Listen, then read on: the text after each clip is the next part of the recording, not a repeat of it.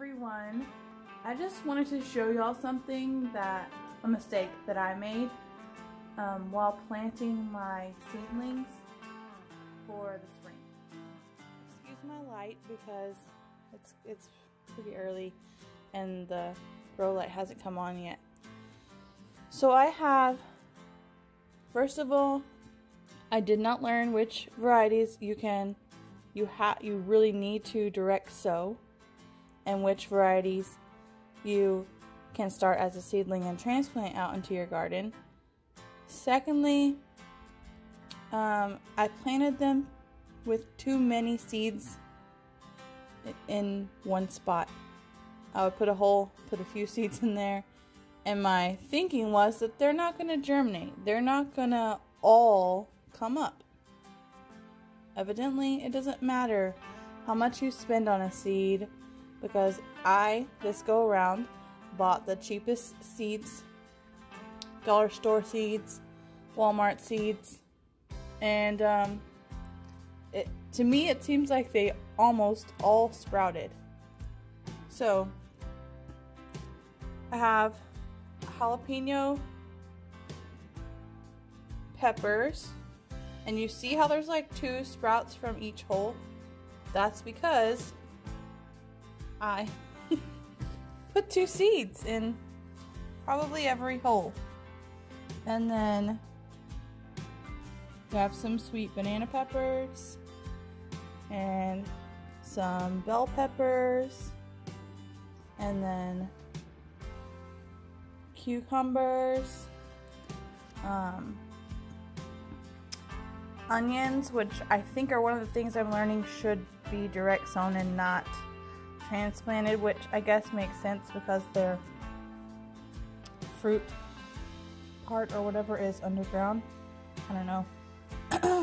and then we have these are mis- these are my mystery seedlings. We're gonna see if anybody can guess what they are. Because I only have two of them because after my husband cooked one time, I found some seeds on the floor. see, this one didn't do very good in transplanting it and trying to separate it because these are cabbage, and I don't think they should be transplanted. But we are, I mean, I did wait till I was getting their first leaves on there, their first real leaves. And um anyways, distracted. I uh he planted I mean he cooked and I found these seeds on the floor on the ground, a couple of them. That's it. I mean he didn't there weren't seeds everywhere. But I found them on the ground, so I had a couple some cups of dirt and I just stuck them in there. So I know what it is, but we're going to see if anybody can guess what it is. And I might do a little giveaway with that. And then these are tomatoes. They're cherry tomatoes because we don't really eat a lot of tomatoes. In fact, I don't eat any tomatoes, but my husband will. And, um, anyways, these are tomatoes and he'll eat the cherry tomatoes with salads and stuff and eventually I'll probably do some bigger tomatoes to make like his um, spaghetti sauces and marinaras or whatever.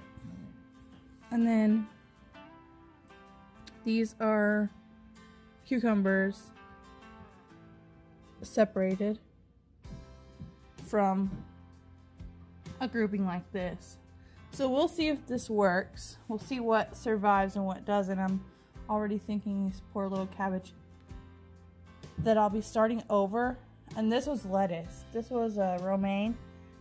It was just the same thing, only a few, couple seeds in each um, hole, but they didn't like, I don't think they liked my um, setup here. And I think when they first started sprouting, because that them and the cabbage sprouted first that the light I had at the time was too close to them and maybe they got too hot because they kind of just shriveled back.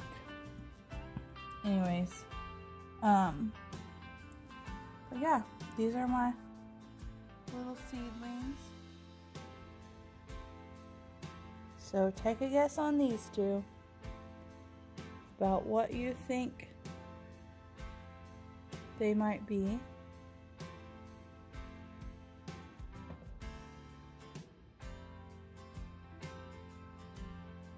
And sorry about my lighting, I will get better lighting for the future, but I just wanted to let y'all know about a, uh, some mistakes that I have made and and you, you end up with when you only have a very limited space and lighting situation for growing things and then you grow like 20 of everything it, it makes so I hope you learned a little bit from my mistakes and that you can make some better choices when you're starting your seeds. Um, I hope everyone has a great day and uh,